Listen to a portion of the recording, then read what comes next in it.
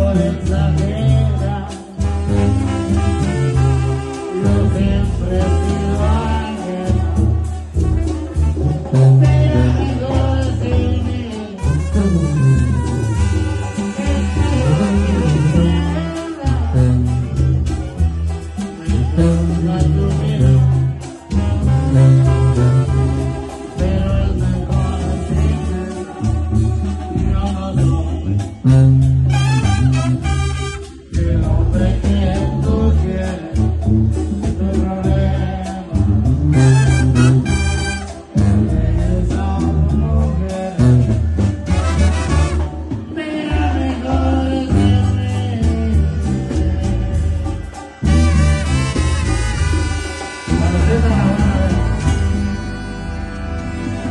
los nuevos talentos de la Unión Médica.